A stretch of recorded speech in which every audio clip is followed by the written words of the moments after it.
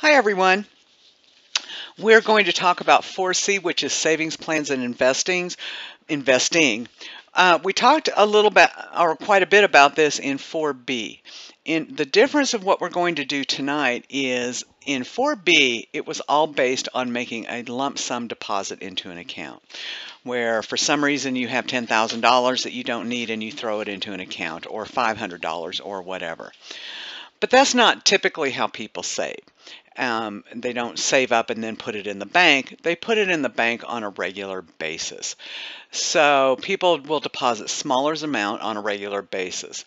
There are some special types of savings plans. Of course, you can just get a plain old savings plan, um, but you can also do IRAs, 401ks, 403bs, 529, which is a college savings, and um, you know there's there's all different kinds even within those in an IRA it can be a traditional or a Roth uh, 403b is the same as a 401k except it is for educators um, you know again there's all kinds of, of, different things but what happens on those accounts is you just make a, a contribution usually out of your paycheck monthly all right so um, I will also tell you that financial planners will call any series of equal regular payments an annuity.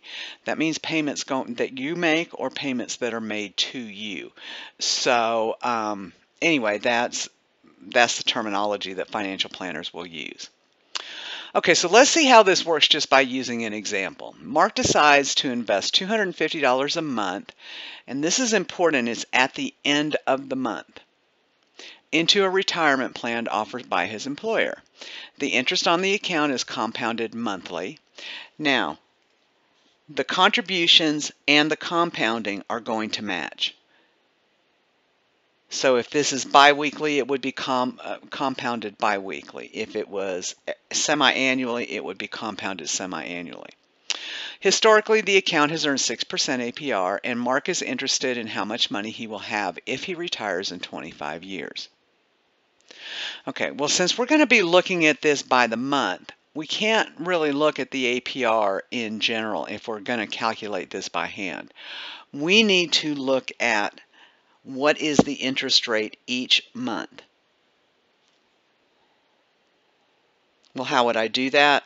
I would just take 6% divided by 12, which gives me 0.5% so it would be 0.5% each month. Now we're going to be doing these as a decimal as always, so if I move this two places to the left, this is 0.005. Okay. So let's do a few months of this and see exactly how it works. We're not going to have to do this, of course. We're going to be able to use the formula. But, you know, how is this all coming about? Okay, so for month month one, he is putting in money at the end of the month, so he starts with zero.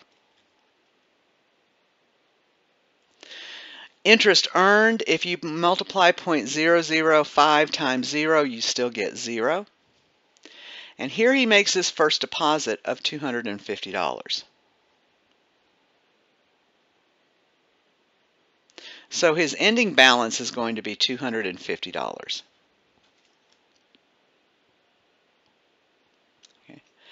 All right, so that's what for month one. He's got his $250 in there. So the ending balance in month one becomes the starting balance in month two. Okay. Now we are going to earn interest on that.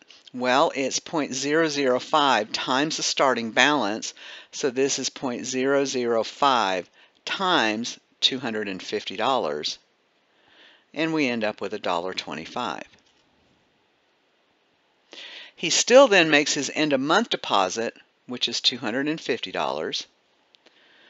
So at the end of this month, of month two, he ends up with $501.25.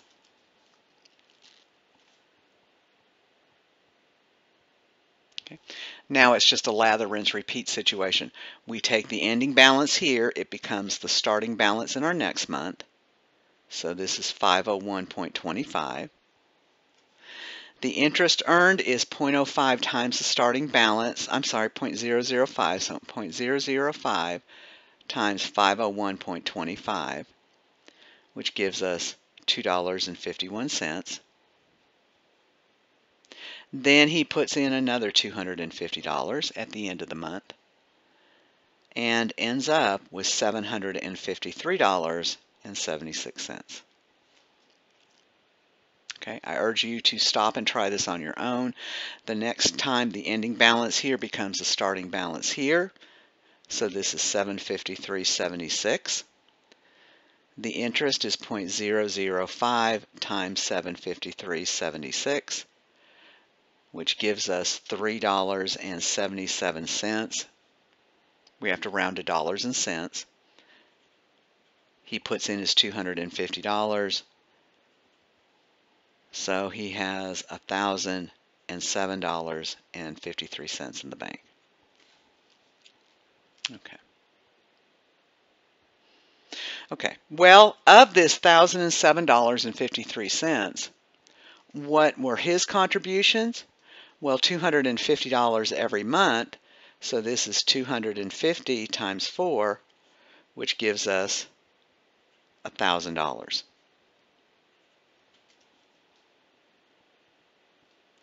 How much of the balance came from the interest earned. There are a couple of ways you can do that. You can add up the interest, or you can just take the total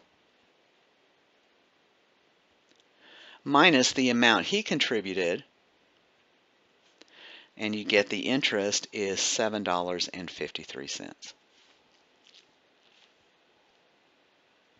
Okay. Okay, so in seven minutes we were able to do four months. But he wants to know how much will be in there if he retires in 25 years. Okay, well we would have to do that once a month, every month for 25 years. So that would be 12 times 25. So we would have to do it 300 times. That's too many. And it takes too long. So we can do it a lot more reasonably if we use the savings plan formula.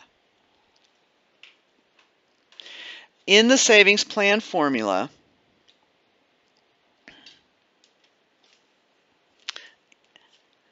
Your knowledge of your calculator is going to be absolutely essential in this. You're going to need to know what each of these mean and how to put that in your calculator. Okay, so we have A PMT, APR, N, and Y. In either formula, those are our variables. So we need to know what each of them stand for. Okay, so I'm going to do this rather quickly. A is our accumulated balance.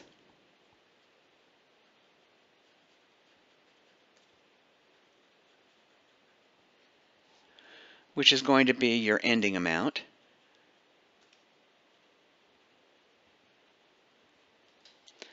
Payment is going to be your regular payment or deposit amount. Notice we don't have a principal anymore because that was a lump sum. It is being replaced with our regular monthly payment. The APR is the annual percentage rate. Whoops.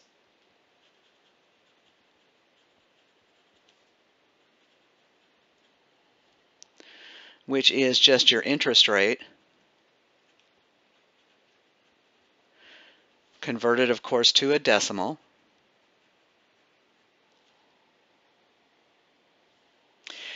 Now, N, it represents, as I said before, it is the number of compounding periods, but that's the same as the number of payments. So it's the number of payments and compounding periods.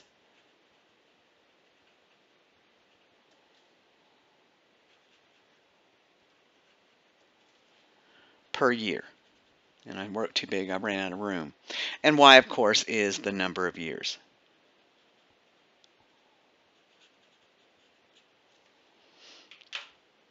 Now I'm going to put in big red letters here because it is really important. You can see how complicated these formulas are. You need to know your calculator.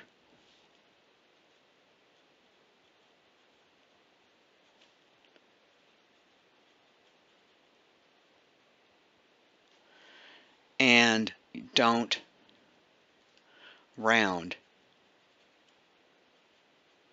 until the end.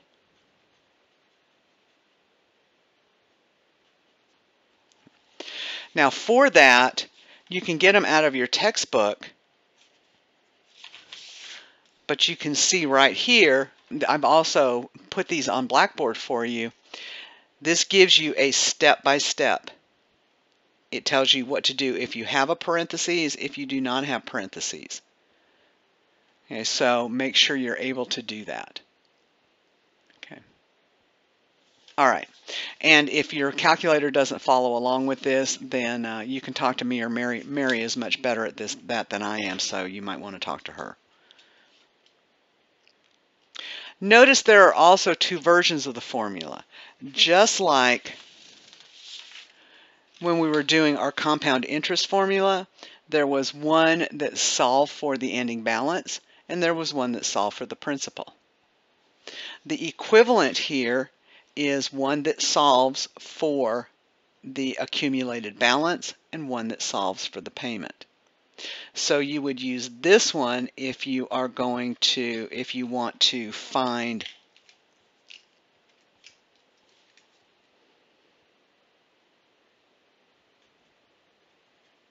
the end ending balance. And then you would use this one if you want to find the regular payment. And if you look at the formulas, they're, they are very, very similar. Um, notice all this stuff is the same this is upside down from this, and these two are flip-flopped. And if you have a background in algebra, it's not difficult to solve for one of those. Okay. All right, well, our next page, we are going to continue on with the example that we've done. Mark and his $250, 6% APR monthly in 25 years. Whoops, I'm sorry. And we're going to now use the formula to calculate these things.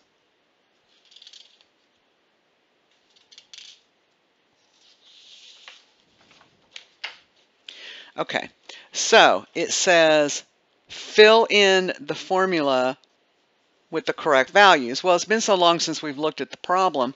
What he wants us to do is find out how much money he will have in 25 years. So this is our A. So regardless of which formula I'm using, I need to have the A the payment, the APR, the N, and the Y. Now, it just said that we were looking for A, so that's going to be our question mark. There are five variables. In order to be solve for one that's missing, I have to know the other four. Well, I'm just going to take those out of the problem. It says he's going to make $250 monthly payments. The APR is 6%, which becomes 0.06. It's monthly, so N is 12, and he wants to know what's going to happen in 25 years.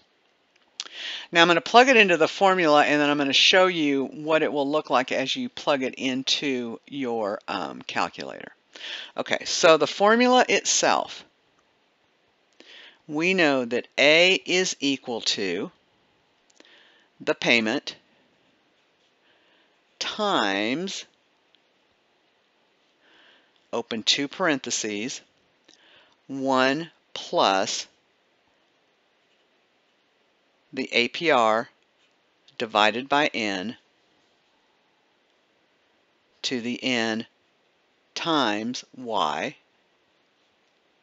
and then minus 1 all divided by the APR divided by N. In your calculator, this is what it's going to look like. So in your calculator, you're going to have 250 times, open two parentheses, 1 plus 0.06 divided by 12 to the 12 times 25 minus 1 close parentheses divided by 0.06 divided by 12.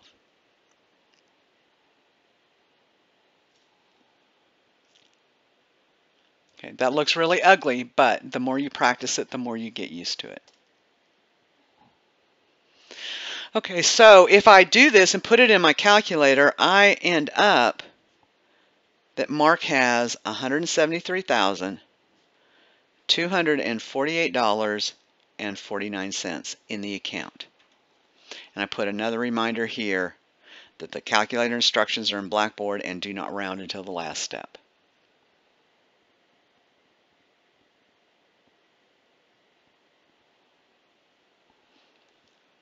Okay, so how much will Mark have in the in the account if he waits 30 years to retire? Okay, well, once again, we're looking for A.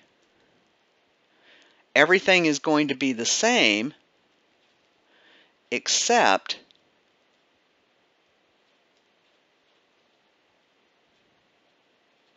the Y is going to be 30.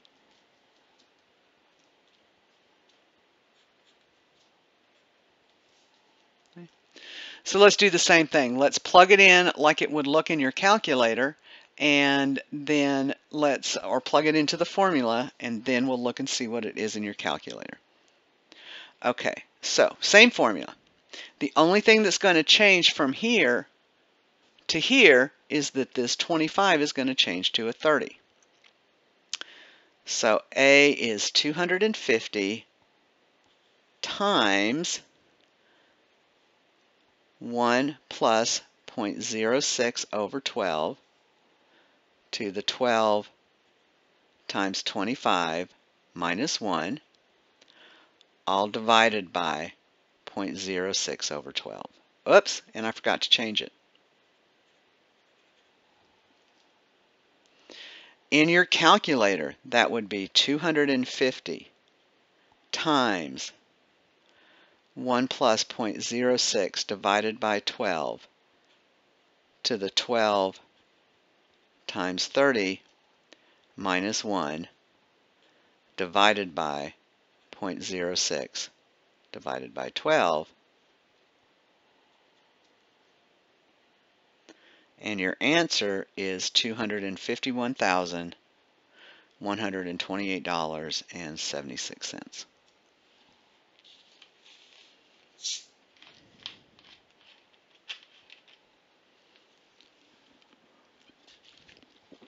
Okay. Now it says, suppose Mark looks at this from a different perspective. He decides he wants to have 500,000 in the account when he retires in 25. How much should he deposit each month to achieve his goal? Okay, so now he's got a goal in mind. he wants to know, well, how do I get there? Instead of saying, this is what I can do every month and let the chips fall where they may, where they may, let's see what the end is. I want to have a specific amount in the bank. What do I need to do to get there? Okay, well, since it's how much should he deposit each month, that means we're going to be solving for the payment. Okay, so I've still got my A, my PMT, my APR, the N, and the Y.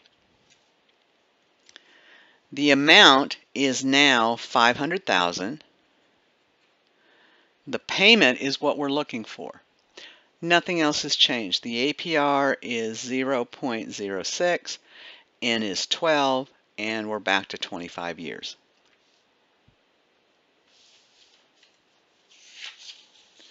So now I'm going to use this formula. Because okay. I want to find the regular payment. Okay, so once again, we're going to look at it, how it will look in your, just plugging it into the formula, and then what it looks like in your calculator.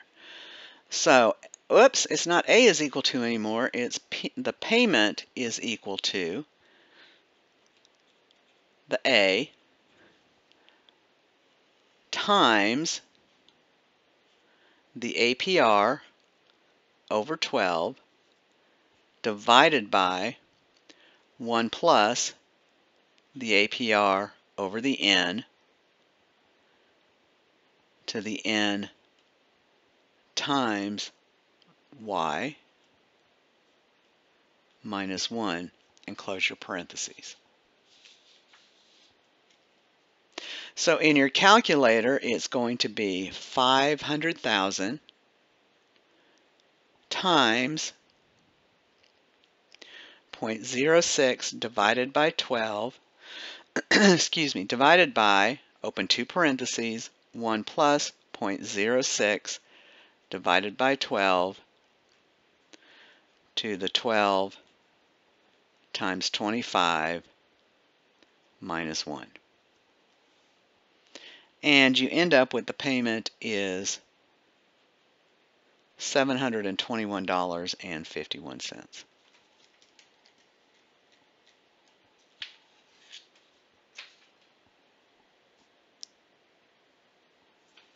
Okay, so now we're going to continue on with this problem, and what it asks is, using this monthly payment, how much money will Mark have deposited over 25 years? Okay, well that's going to be the monthly payment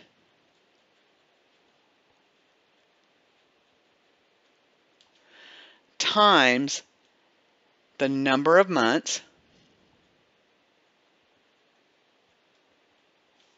in a year times the number of years. So in this situation is going to be 721.51 times 12, so that's how much in one year, and then he's doing that for 25 years, and that comes up to $216,000, $216,453 even.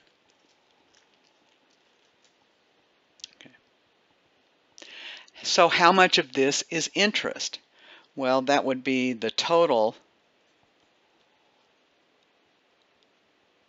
A minus the deposits.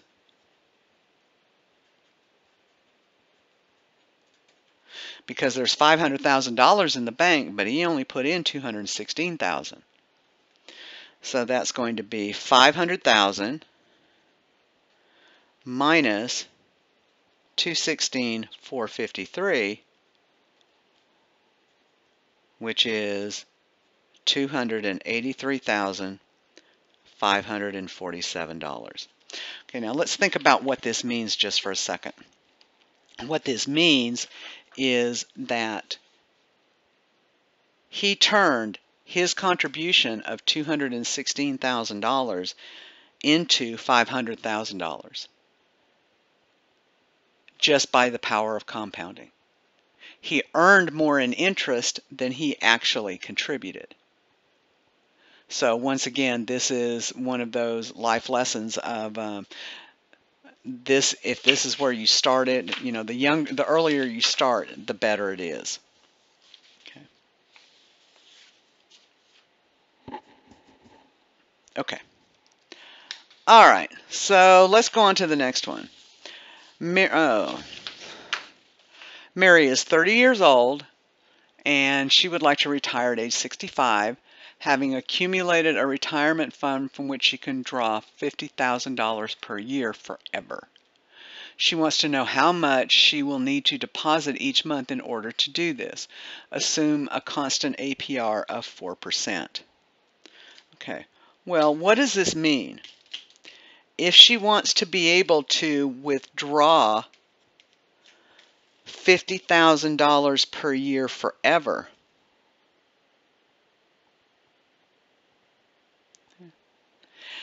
This means that she is um, withdrawing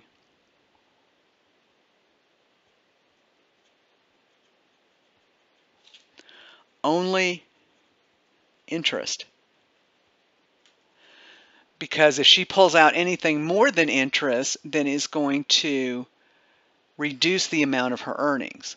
Okay, so how much money will she need to have in her account at age 65 so that $50,000 is the yearly interest?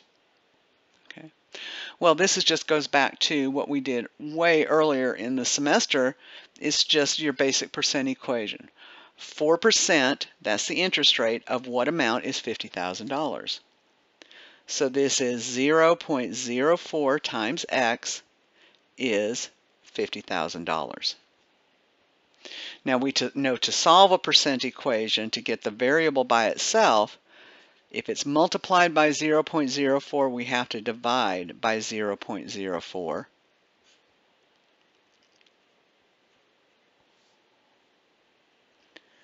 So x is 50,000 divided by 0.04 which means that Mary has to have $1,250,000 in the bank.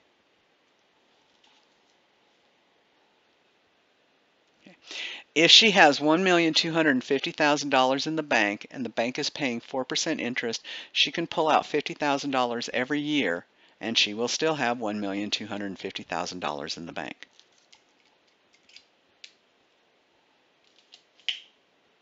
Okay.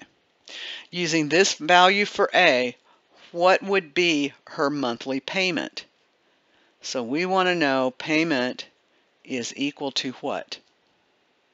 So we're going to use that formula, but we still, regardless of which formula, we need to have the A, the payment, the APR, the N, and the Y. Well, we know the A now. This becomes our A.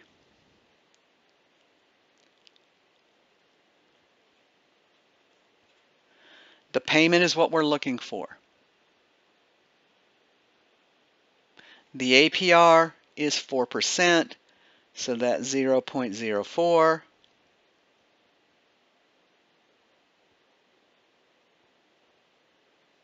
This is a monthly payment, so N is 12. And the year 65 minus 30 gives us 35 years. So she has wants to know how much she's going to have to put in the bank every month for 35 years in order to achieve her goal. Okay, so the general formula of the payment is 1,250,000 times the APR over N divided by 1 plus the APR divided by N to the N times Y minus 1. In your calculator, that would be 1250000 times 0.04 divided by 12 divided by parentheses parentheses 1 plus 0.04 divided by 12 to the 12 times 35 minus 1. And you get that the payment amount is 1368.02.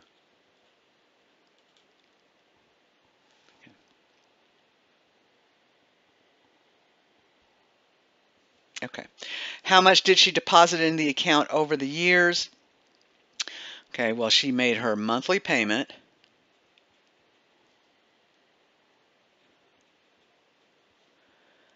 Times the months in a year times the number of years. So this is 1368.02 times 12 times 35, which means her part of the $1.2 million, she put in 574,000 $568.40. Okay. So let's find out how much of this is interest. So that's going to be the total, the A, minus Mary's deposits, which is $1,250,000 minus 574 568.40 which means her earnings and interest were $675 $431 $675,431.60. Once again, the power of compounding. She turned her contribution of $574,000 into 1.25 million. Okay, overdue for time to switch videos and then we'll do the rest of this.